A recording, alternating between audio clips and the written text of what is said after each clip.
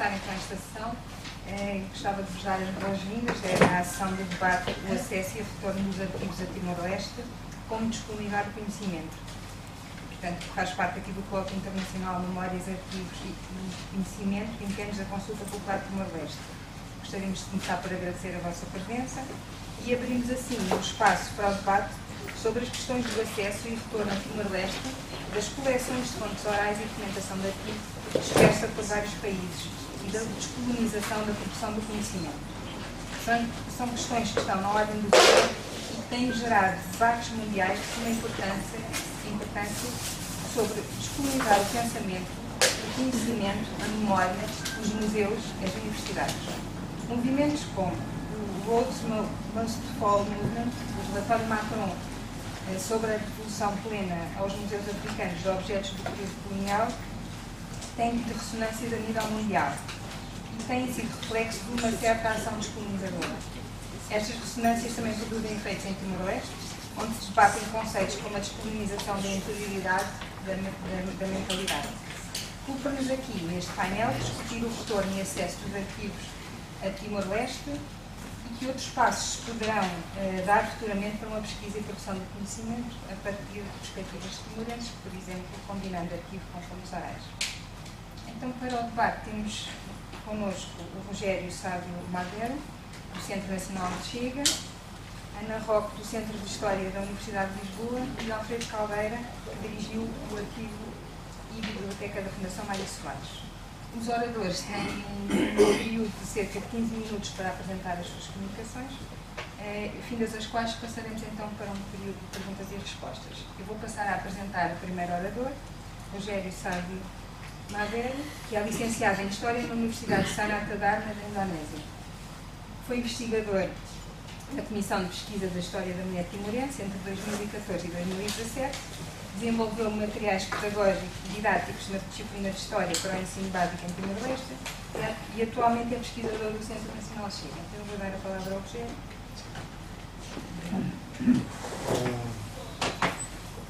Isso já cansado. Mas eu uh, li o, o meu texto na primeira sessão, mas vou, uh, vou sim, vou pensar mais uma vez a questão da, dos arquivos e, que é relacionado com a história, a pesquisa da história uh, de Timor-Leste. Eu acho, uh, eu visitei uh, Portugal, esta é a primeira vez também. Uh, eu fiz uh, estágio aqui e já visitei alguns arquivos e falei com algumas pessoas que têm conhecimento sobre arquivos aqui em Portugal. E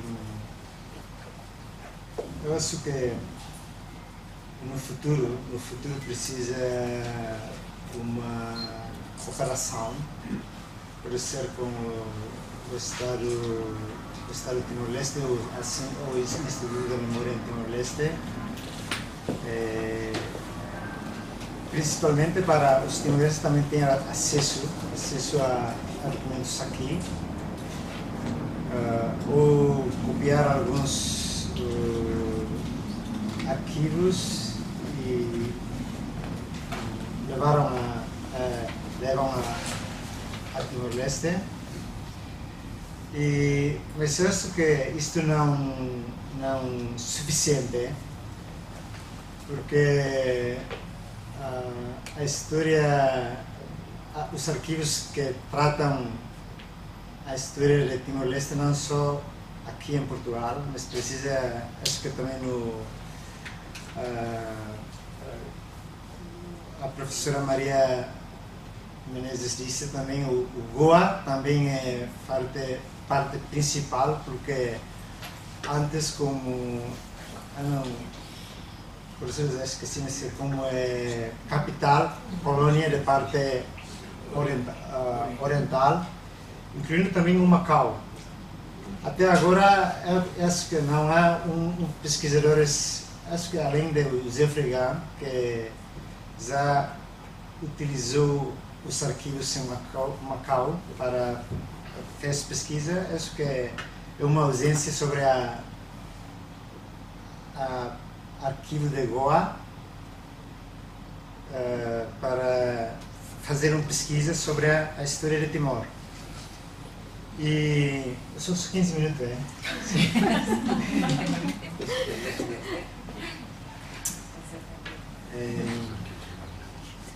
E também a questão de, mais ou menos, se tiver um roteiro, um guia sobre os arquivos aqui em Portugal, este também vai facilitar os investigadores timorenses que fazem uh, pesquisas sobre a história de, de Timor. Uh, então, uh, ok. Então, a, a primeira abordagem que eu tentei fazer também é fazer uma, um roteiro sobre os arquivos aqui em, em Portugal, em Porto, por exemplo, em Porto, em Lisboa, Coimbra, que tem uh, relação com a história de Timor-Leste. Alguns arquivos, como no arquivo uh, histórico do ultramarinho, pelo menos já tem uh, alguns catálogos, catálogo, mas eu não sei, o Torre do Tombo, mas o, as pessoas de Torre do Tombo dizem que todos os documentos que tratam a história de Timor é quase está no arquivo sim, histórico de ultramarinho. Sim, não é verdade. Não, não é verdade. Né? e também uh, encontrei alguns uh, arquivos mais recentes sobre a período de ocupação, 75 no arquivo Comitê de 25 em Coimbra, sim, ah, sim, em Coimbra. Eu acho que também uh, ainda tem alguns espólios uh, privados é, que é preciso de preservar, no futuro preciso juntar e preservar. Uh, porque no futuro vai ser útil para reconstruir a história do Timor. Mas, mais ou menos.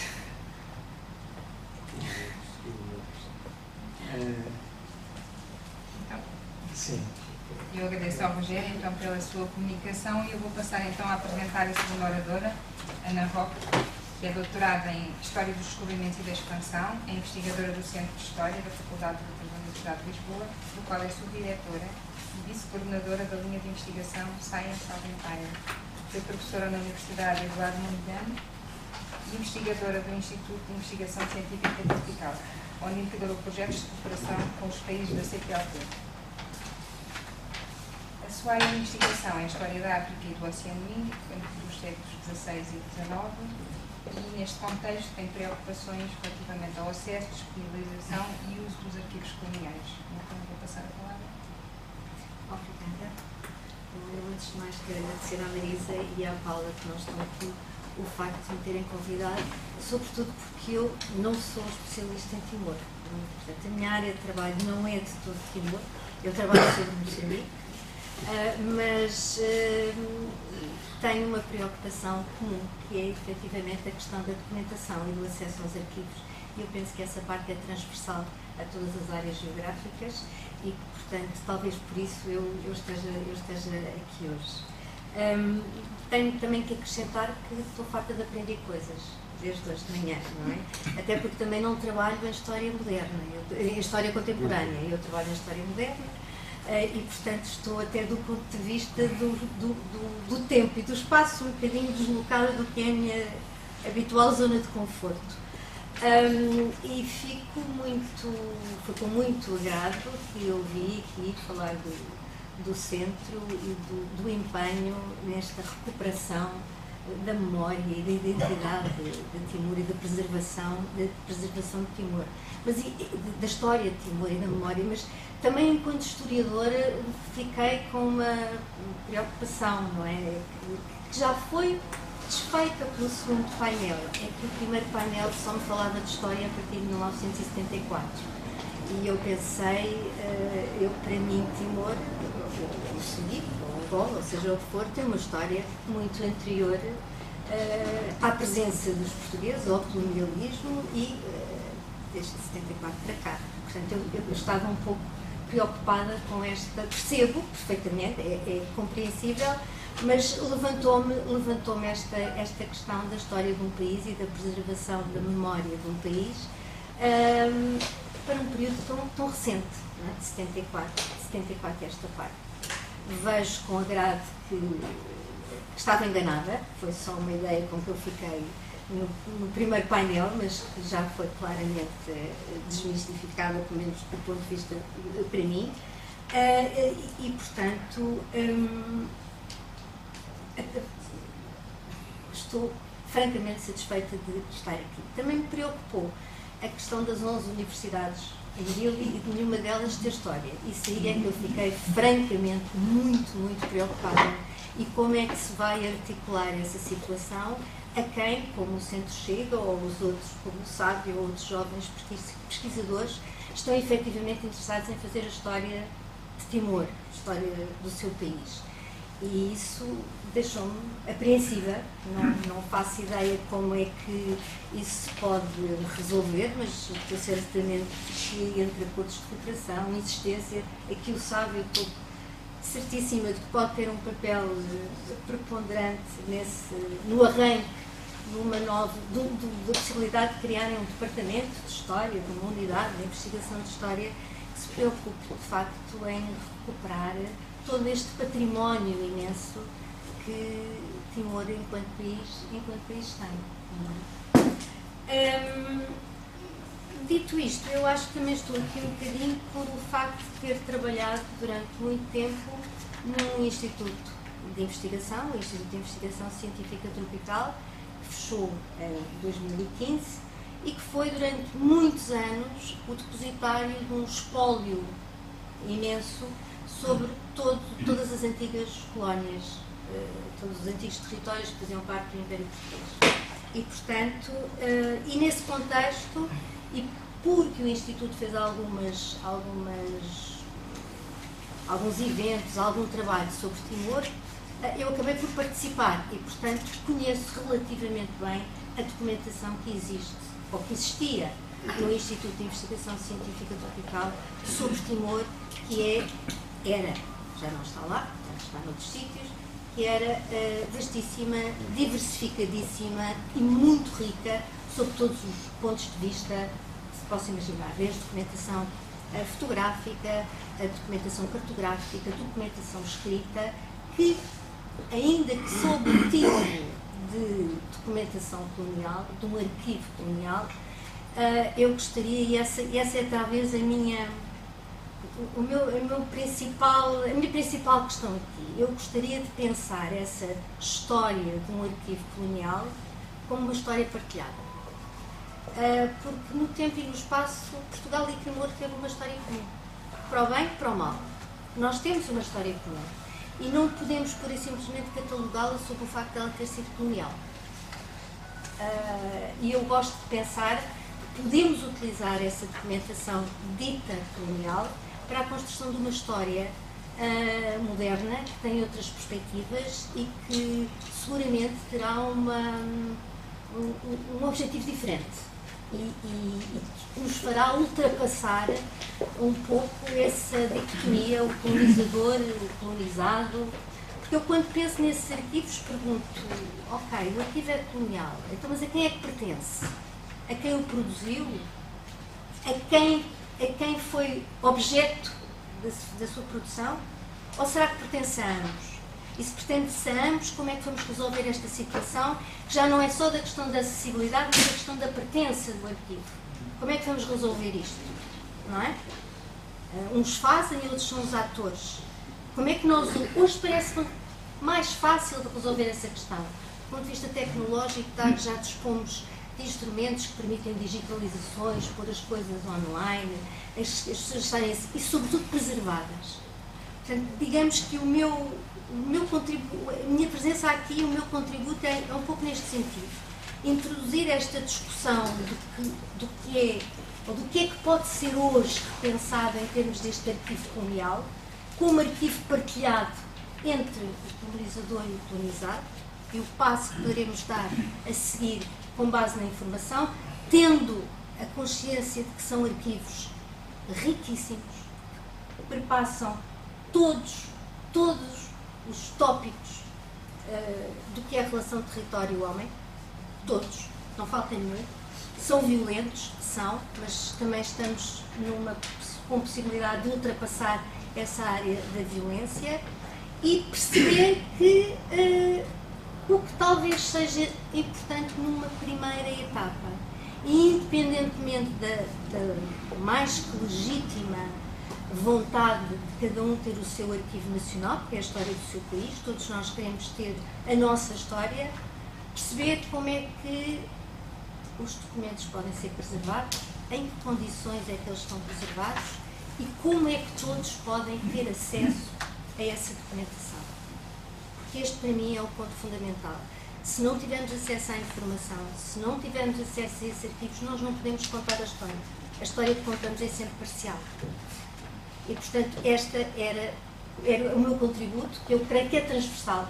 Põe-se aqui em relação a Timor, como se põe em relação à história dos outros países, mas que eu acho que seria interessante, talvez, discutir um pouco esta, esta questão. E agradeço muito a possibilidade de estar aqui convosco a repensar sobre isto. Obrigada. Então, agradeço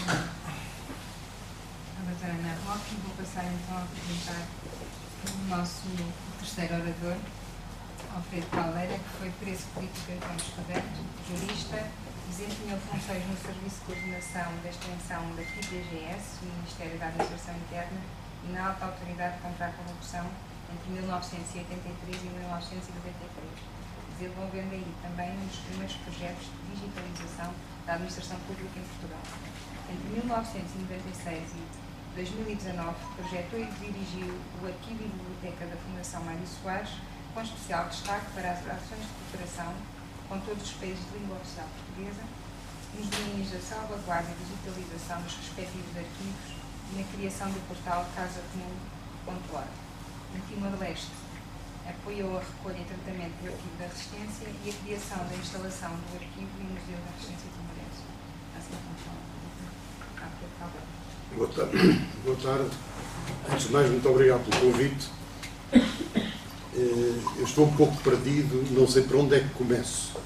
Ou seja, e creio que é pela questão dos arquivos coloniais. Eh, nós, no fundo, de forma um bocado grosseira, mas que penso que também é verdadeira, os arquivos coloniais eh, são aqueles que caracterizaram as situações coloniais e, portanto, foram construídos quer na metrópole, quer nas próprias colónias, onde muitas vezes são complementares, repetidos às vezes, outras vezes incompletos, etc. Depois há uns outros arquivos, que muitas vezes estão misturados também, que são os arquivos das resistências, lutas de libertação, resistências ao ocupante, como no caso de Timor, eh, e de uma coisa muito mais rara, que é a incorporação dos arquivos pós-coloniais infelizmente, na maior parte das ex-colónias portuguesas, pouquíssimos governos incorporaram nos arquivos nacionais os seus arquivos, produzidos na independência. Isso vai levantar problemas muito sérios a esses países, porque não haverá história sobre o pós-colonial, praticamente. O caso de Timor é um caso de alguma forma diferente, pelo menos na sua nascença os dirigentes timorenses, os dirigentes saídos da resistência timorense, entenderam muito a sério que era preciso solidificar a identidade nacional através da memória da resistência. E, portanto, mesmo quando foi retomada a independência em 20 de maio de 2002, uma das maiores preocupações dos gerentes timorenses é que nas cerimónias houvesse um, um, uma exposição sobre a resistência timorense. Ou seja, a, a independência não se conquistava, não se reconquistava sem a memória da resistência. E a partir daí, com muitas peripécias, o que é que aconteceu, em termos gerais? Foi que as populações, de uma ponta à outra do país, começaram a depositar os seus arquivos, os arquivos que tinham guardado com perigo de vida, em condições por vezes trágicas, em condições de conservação obviamente péssimas, começaram a entregá-los para serem tratados. E na primeira cerimónia, que foi em Bercoli, de entrega de documentos, eh, não só estava a população, como estavam também alguns caixões de guerrilheiros para que eles soubessem que as pessoas tinham cumprido a sua palavra e tinham guardado os documentos. E isso, eh, e o que se seguiu foram dezenas de entregas de documentos que eh, muitas vezes tinham um ar, tinham sempre um ar patriótico, se quiserem, mas muitas vezes militar, outras vezes religioso, outras vezes uma mistura das duas coisas. Eu lembro de um desfile a certa altura, com metralhadoras e não sei o que. Espera aí, vocês não podem provavelmente desfilar. Uh... Não, não, estas são nossas. As outras, estas forças armadas são do governo, agora estas são nossas. Isso levou a que se descobrisse também uma coisa muito importante, que eram os abrigos da resistência.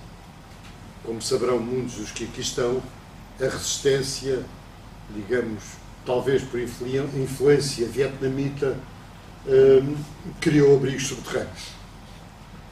E imaginem o perigo de vida que essas pessoas nas suas casas correram. Como muitas vezes os indonésios a jogar às cartas em cima do abrigo. É? Isso passou-se concretamente no abrigo de Mirtuto, que foi o abrigo talvez mais importante da resistência, na medida em que a maior parte dos dirigentes ficavam lá, iam lá, reuniam lá, etc.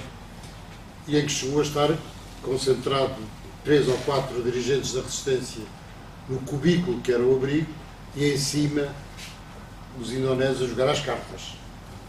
Uh, portanto, uh, e aí corria-se risco de vida efetivo. Esse arquivo da resistência é um dos maiores arquivos de resistência uh, em todo o mundo. É um arquivo complexo, a que falta muita coisa, em que no fundo desapareceram a maior parte dos arquivos centrais, os arquivos dos dirigentes, tirando o do Cónis Santana, que foi possível recolher quase na íntegra, mas os outros foram apanhados pelo ocupante, tiveram que ser destruídos, estragaram-se, enfim, mil e uma condições, mas apesar de tudo é um arquivo gigantesco, com uma característica interessante para os historiadores, designadamente, é que os principais documentos estão em português. Porque os dirigentes da resistência falavam português. E, portanto, vinham de seminário, etc, etc. E, portanto, mal se saía, digamos, do grupo dirigente, muitos documentos estavam uh, em línguas maternas. Em fataluco, enfim, nas várias línguas e depois ainda uma terceira componente, que eram os documentos de relacionamento com a solidariedade internacional. E que aparecem em Bahasa, aparecem em inglês, aparecem em francês, ou seja, é um arquivo extremamente complexo desse ponto de vista. Embora, repito, os arquivos principais, os documentos principais, mais relevantes, eh, estarão em português na sua esmagadora maioria. Isso levou a que as autoridades timorenses tomassem duas medidas. A primeira foi não há condições em Timor para guardar, salvar este material. E, portanto, ainda em 2002 foi feito um acordo de evacuação dessa documentação, para Lisboa, concretamente. Eh, e isso foi acontecendo ao longo de algum tempo, até serem tratados, conservados e, sobretudo, digitalizados em Lisboa. honro-me, posso dizer isso, de toda essa documentação está hoje entregue a Timor. Ou seja, regressou na íntegra ao Arquivo e Museu da Resistência Timorense, que é, mesmo do ponto de vista legal, o seu possuidor. Aqui levantam-se outros problemas, que é qual é a capacidade eh, de Timor para manter, divulgar, trabalhar esse arquivo. Do ponto de vista físico, tem todas as capacidades. Foi construído um edifício, tem casas fortes, tem depósitos, eh, aí não há, porque Timor apostou nisso também. De outra parte, é a evidente ausência de quadros capacitados para gerir as várias situações que isso implica. A terceira é o estabelecimento de parcerias. Não faz sentido num país pequeno como é Timor, para quem não conhece, é mais pequeno que o Alentejo,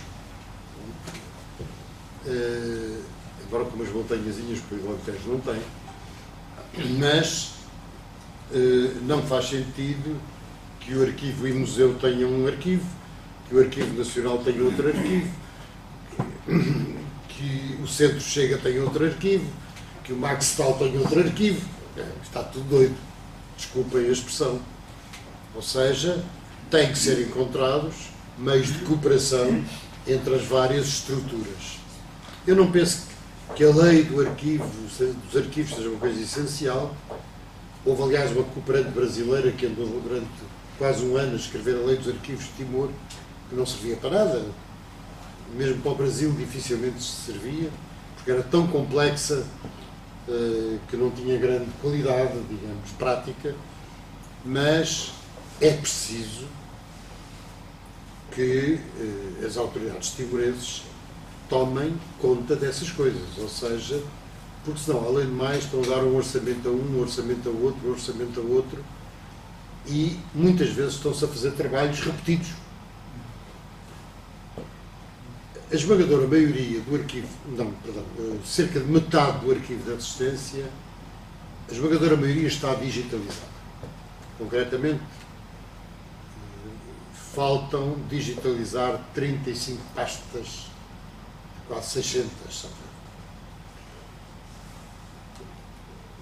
Desse conjunto todo, metade está online. Portanto, é consultável em qualquer lugar. Quer presencialmente no arquivo e museu, quer na internet, em qualquer parte do mundo. Levanta problemas é um problema que se debateu com as autoridades timorenses, mas não houve nenhuma decisão, que era os chamados metadados, ou seja, a descrição dos documentos está toda em português. Quando devia, estar, devia ser bilingue. Timor tem duas línguas oficiais e devia estar em perto e em português. E as experiências que fizemos de descrição de documentos em teto, obviamente, tiveram um acolhimento dos estudantes, etc., completamente diferente. Foi do dia para a noite aliás, da noite para o dia, a diferença de acesso. Depois, eh, e portanto, reparem, por exemplo, eh, quando nós ensaiámos algumas cooperações, quando Timor decidiu eh, comemorar os 500 anos da chegada dos portugueses, o que numa ex-colónia não deixa de ter graça, mas porque precisamente comemorou ao mesmo tempo os 40 anos da independência. Portanto, em, em 28 de novembro de 2015, e foi comemorado no mesmo dia em Oecusi e em Dili, seja, houve uma exposição duplicada. Pronto. E nessa altura fizeram-se investigações, precisamente, numa série de arquivos de vários países, designadamente a Holanda também, eh, e que permitiu, de alguma forma, entre aspas, reconstruir a história eh, da própria divisão da ilha, ou seja, como é que aquilo, os portugueses negros, os, eh, a Ilha das Flores, tudo aquilo que se tentou, todos aqueles as, as questões da Holanda, da mesma maneira que, por exemplo, há questões que Portugal, e isto vem a propósito da questão da Torre do Tom dizer que não tem, repara, por exemplo, a chamada revolta de Viquet. Todos esses processos estão na PID. Estão nos arquivos da PID. Então estão na Torre do Tom. Designadamente, um dos homens, eh, como resultado da revolta de Viqueque, houve cerca de 100 timorenses deportados para Angola, para Portugal, eh, penso para Moçambique também. Ora bem, esses processos estão no arquivo da PIB. Deixem-se de conversas, como diriam outros. Uh, e é possível, portanto, cruzar informação. Eu não creio que seja possível, em parte nenhuma do mundo, uh, criar um arquivo, é o que todos nós ansiávamos. Era ter o nosso arquivo com um bocadinho de cada lado. Mas penso que não é possível, embora hoje as novas tecnologias facilitem o cruzamento de informação. Uh, e, aliás, no que respeita ao Arquivo Histórico Ultramarino, em, em 2001 ou 2002, eu creio que o Arquivo Histórico Ultramarino chegou a fazer uma cópia em microfilme do Platinha de Timor. Depois seguiu-se uma daquelas histórias típicas portuguesa e timorense, e é, ninguém sabe onde é que está o microfone. Aparentemente chegou à embaixada em Dili, bem, não se sabe onde é que está. Uh, mas isso nós somos todos especialistas nisso, perder-se o rastro à história. Depois há uma outra parte que são os arquivos pessoais e os arquivos, por exemplo, dos movimentos de solidariedade. Ou seja, muitos deles são importantes. Por exemplo, o arquivo da resistência timorense eh, incorpora uma grande parte do arquivo da TAPOL, da Organização Indonésia dos Presos Políticos, solidariedade com os presos políticos, a qual, por exemplo, é essa parte do arquivo está em grande parte em base indonésia e em inglês. Eh, mas outros arquivos, como o CDPM, o SIDAC, etc., eh, etc., e depois os arquivos individuais. Como vocês sabem melhor do que eu, na Austrália, em Singapura, dezenas, pelo menos, de arquivos pessoais, designadamente de dirigentes timorenses, que nunca voltaram para Timor. Ora bem, esse é um dos passos que tem que ser dado aos meninos, deem para cá os arquivos. O caso da rádio é um caso exemplar. A Rádio Malber um, cujo aparelho foi entregue há dois anos, já, um dos aparelhos foi entregue pelo Dr. Mário Alcatir ao Arquivo e Museu da Assistência, uh, conseguiu-se recuperar um ou dois sons da Rádio Malver, mas sabe-se que na Austrália existe a gravação, quer pelas autoridades australianas, quer por gente timorense, a gravação muito extensa das emissões da Rádio Móvel, que é uma coisa fundamental para se conhecer certas fases da luta da resistência. Eu já estou a falar demais. Eh, eu queria vos dizer uma coisa que é talvez eh, algumas pessoas pensam que a memória só serve para ser esquecida. Ou seja, isso é uma chatice. A gente ir buscar essas coisas eh, não é bom. Eu penso o contrário. É com memória que nós construímos o nosso futuro e o nosso presente. Uh, e por isso nós temos de ter a noção do que é que são os arquivos hoje. Arquivos, bibliotecas, ou seja, são coisas que têm que se cruzar. Os arquivos são informação, exigem formação pessoal, mas formação adequada. Ou seja, não se pode uh, meter a prima da cunhada da tia não pode ser por favor que alguém está num arquivo. Tem que ser muito claro, e por isso eu fiquei muito contente com algumas coisas do Centro Chega, que é ser clara a missão, os objetivos, saber o que é que estamos a fazer e a preparar. Temos que, que meter nisto as universidades. Ou seja, no caso de Moçambique, a Universidade de Eduardo Mondlane forma arquivistas. Podem não ser os melhores do mundo, mas são arquivistas, têm uma formação arquivística. Isto, por exemplo, é essencial em Timor, onde há, apesar de tudo, bastantes arquivos. Ou seja, eu não me interessa. O Max Tal, e eu tive essa conversa com ele 500 vezes, eh, a colaboração da Universidade de Coimbra. Está bem, mas e depois? O que é que Timor fica disso? Com o que é que Timor fica disso? O estabelecimento de parcerias eh, corretas não é como aquela famosa história eh, parece ter havido um tratado em 75 entre Angola e a União Soviética. Ambos os países autorizavam o outro a pescar nas suas águas. E, portanto, obviamente que Angola não tinha nenhuma frota pesqueira para ir ao Báltico. Mas a União Soviética tinha para ir às águas angolanas. E, portanto, as parcerias têm que ser para os nossos objetivos e com pés e cabeça e devidamente acompanhadas. Depois o uso das novas tecnologias, não basta ter uns milhões de petróleo para usar novas tecnologias. Eu dou-vos um exemplo do Arquivo e Museu da Resistência. Tem dois servidores. Ainda tenho cinco minutos, então ótimo. Tem dois servidores eh, altamente capazes na realidade só tem uma pessoa que apoia aquilo, ou seja, e mesmo assim que precisa geralmente de acompanhamento.